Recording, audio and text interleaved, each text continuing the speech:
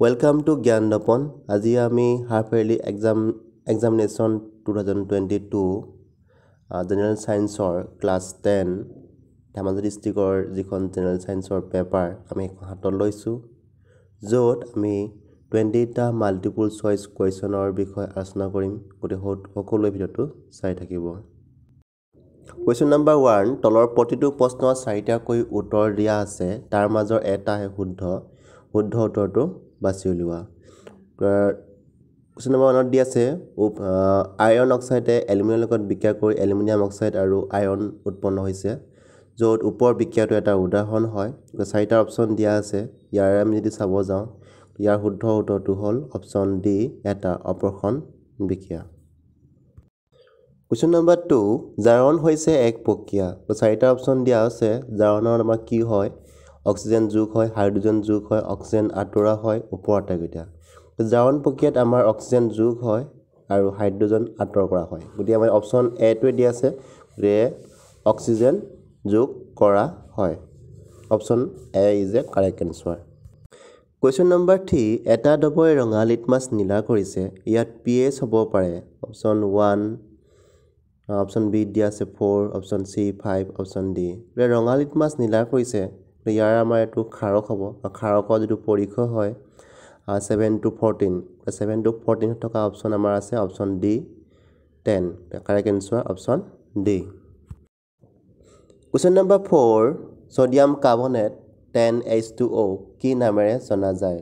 ইয়াৰ শুদ্ধ উত্তৰটো হ'ল কাপোৰ ধোৱা চ'ডা ৱাশ্বিং চ'ডাক আমি sodium carbonate ten H two নামেৰে জনা যায়। শুদ্ধ অপশ্যনটো হ'ল option number C plaster of পেৰিছৰ ৰাসায়নিক সূত্ৰ কি ইয়াৰ ৰাসায়নিক সূত্ৰটো হ'ল calcium sulphate dot H half H two O'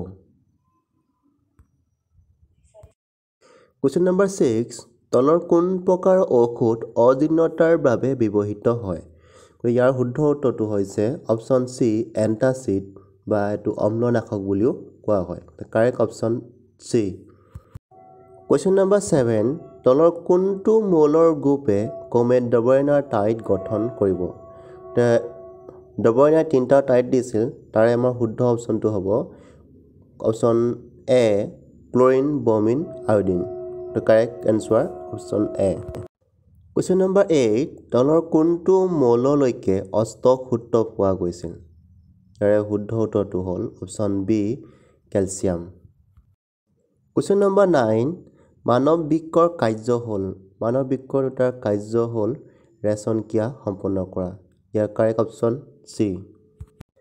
Question number ten স্নায়ুকোষৰ আটাইতকৈ দীঘল আহক কোৱা হয়।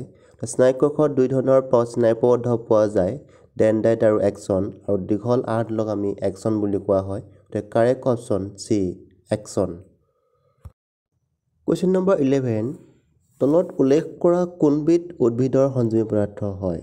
উদ্ভিদৰ হৰমন ইয়াৰে আমাৰ যদি চাওঁ ইনচুলিন থাইৰক্সিন অষ্ট্ৰজেন এইকেইটা আমাৰ প্ৰাণী হৰমন হয় আৰু চাইটকাইন কি হয় উদ্ভিদৰ হৰমন হয় গতিকে কাৰেক্ট এনচাৰ হ'ব option D. Question number twelve নিম্নলিখিত কোনটোৱে এণ্ডকাইন আৰু এক্সকাইন গ্ৰন্থি দুয়োটা হিচাপে কাম কৰে? ইয়াৰ শুদ্ধ উত্তৰটো হ'ল অপশ্যন এ পেনকিয়াছ যাক আমি অগ্নাংশয় বুলিও কোৱা হয়। কুৱেশ্যন নম্বৰ থাৰ্টিন সমস্ত অংগৰ উদাহৰণ হ'ল।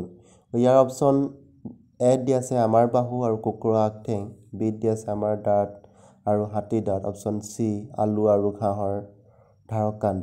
তো অপশ্যন ডি ওপৰ আটাইকেইটা। ইয়াৰ ওপৰ আটাইকেইটা সকলোকেইটা শুদ্ধ উত্তৰ। তো option D is the correct answer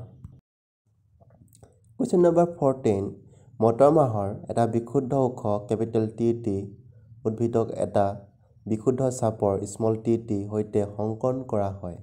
এফটোৰ প্ৰজন্ম বিশুদ্ধ উৎস উদ্ভিদৰ সৈতে বিশুদ্ধ চুটি উদ্ভিদৰ অনুপাত হৈছে।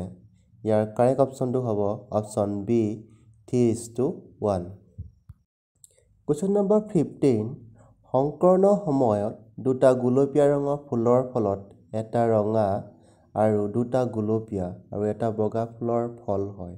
সংকৰণৰ প্ৰকৃতি হ'ব। ইয়াত দিয়া আছে দ্বৈত নিষেচন স্বপৰাযোগ ইত্যপৰাযোগ আৰু কোনো নিষেচন নহয়। তো ইয়াৰ শুদ্ধ উত্তৰটো হ'ল অপশ্যন বি স্বপৰাযোগ কুৱেশ্যন নম্বৰ ছিক্সটিন তলৰ কোনটো পদাৰ্থত লেন্স তৈয়াৰ কৰিবলৈ ব্যৱহাৰ কৰিব নোৱাৰি? ইয়াৰে শুদ্ধ অপশ্যনটো হ'ল মৃত্তিকা বাকী পানীৰ গ্লাছ প্লাষ্টিক ব্যৱহাৰ কৰিব পাৰি কিন্তু মৃত্তিকা ব্যৱহাৰ কৰিব নোৱাৰি। গতিকে correct option D question number seventeen মানুহৰ চকুৰ কোন অংশত লক্ষ্য বস্তু এটাৰ প্ৰতিবিম্ব গঠন হয়? গতিকে ইয়াৰ শুদ্ধ উত্তৰটো হ'ল option C retina question number eighteen প্ৰিজমৰ মাজেৰে পাৰ হৈ যোৱা বগা পোহৰ বিভিন্ন ৰঙত বিভক্ত হোৱাৰ কাৰণ হৈছে ইয়াৰে শুদ্ধ উত্তৰটো হ'ল অপশ্যন চি বিচ্ছুৰণ। কুৱেশ্যন নম্বৰ নাইনটিন তলৰ কোনটো জীৱৰ ভৰ শক্তি উৎসৰ উদাহৰণ নহয়? ইয়াৰে কাঠ গোবৰ গেছ নিউক্লিয় শক্তি কয়লা ইয়াৰ জীৱৰ ভৰ শক্তি উদাহৰণ নহয় অপশ্যন চি নিউক্লিয় শক্তি।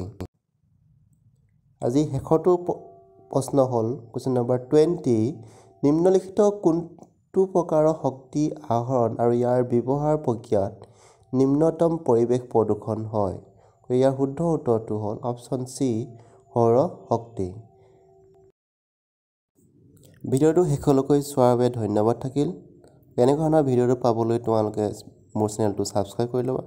Thank U for ৱাটছিং